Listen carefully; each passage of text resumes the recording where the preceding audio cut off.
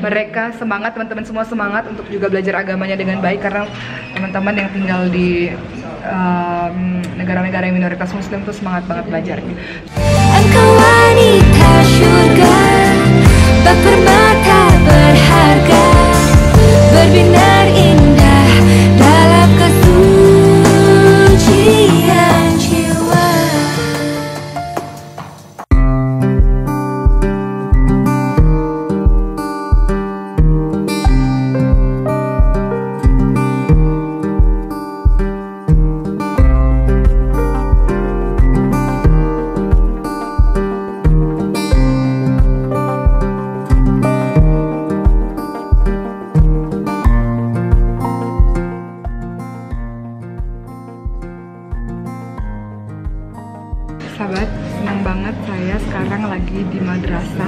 Basar Syah Madrasah Husret Bay ini dan saya lagi ngeliat mereka belajar dalam kelas.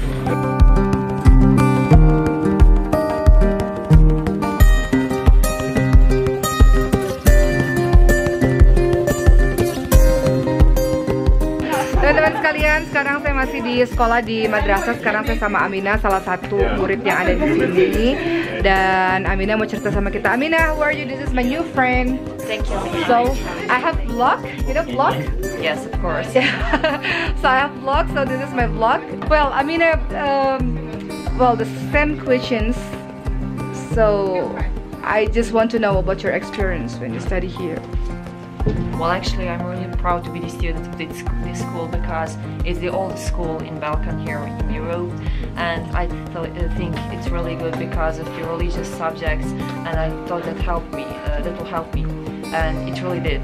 Uh, now I'm a person who can practice Islam, who can, uh, but I'm not uh, that. Different from the others. I really have friends. Different who- uh, I really have friends who are not uh, who are not Muslims, but at the same time, I try to learn them what my religion is.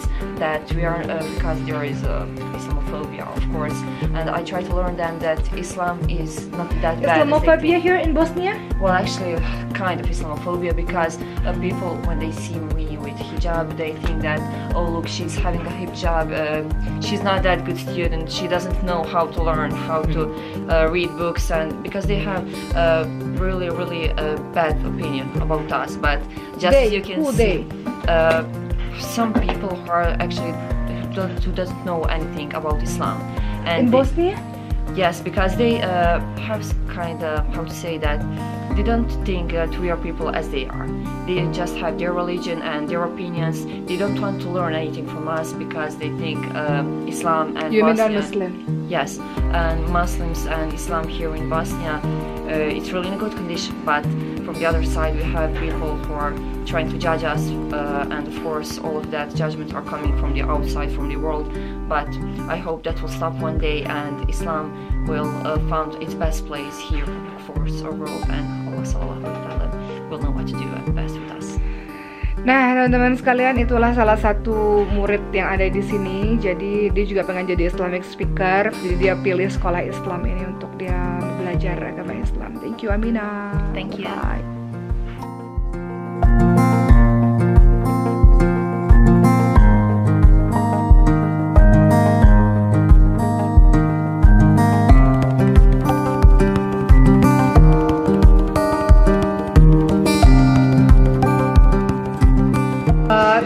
Menarik waktu di kelas saya sempat ditanya sama mereka kamu eh, ngapain melakukan ini? Terus saya bilang ini bagian dari dakwah this is the part of dakwah. Kita ini mayoritas Islam sementara eh, di beberapa negara Eropa minoritas Islam tapi mereka belajarnya luar biasa.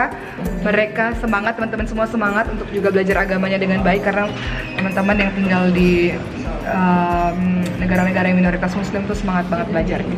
Luar biasa lah teman-teman di sini yang mereka pilih Islamic uh, school atau madrasah buat sekolah, buat mereka belajar supaya jadi basic sebelum mereka pergi ke mana-mana.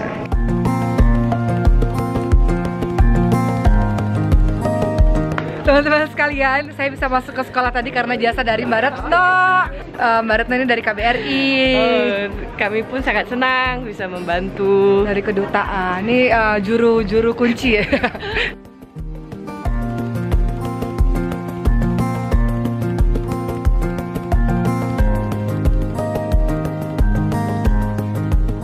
Jadi ini namanya burak ya mbak. Apakah perlu kita tunjukkan? Hmm. Jadi ini tuh kayak martabak telur gitu sih Iya, sebenarnya teman-teman sekalian.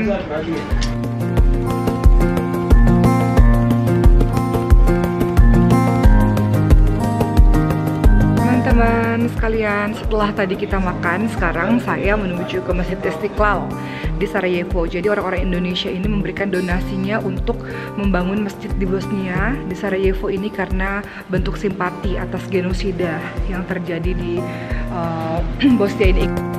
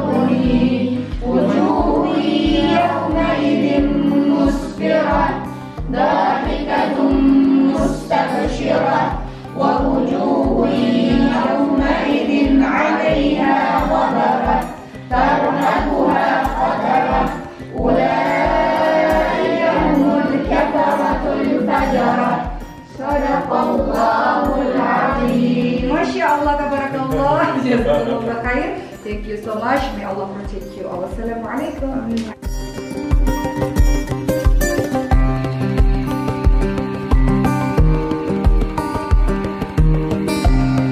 Senang banget hari ini saya bisa ada di Masjid Istiqlal ini. Terima kasih ya udah uh, ngikutin saya perjalanan di Sarajevo ini. Mudah-mudahan teman-teman bisa ke sini dan uh, bisa merasakan kehidupan Muslim di negara-negara lain. Makasih ya. Assalamualaikum udah ngikutin. I, I want to go to Istiklal in the Jakarta, inshallah. I hope in the one year or two year I will be there, inshallah. Amin, see you insya Allah. there. Amin, insya Allah. Kita doakan ya Imam uh, akan benar-benar pergi ke Masjid Istiqlal.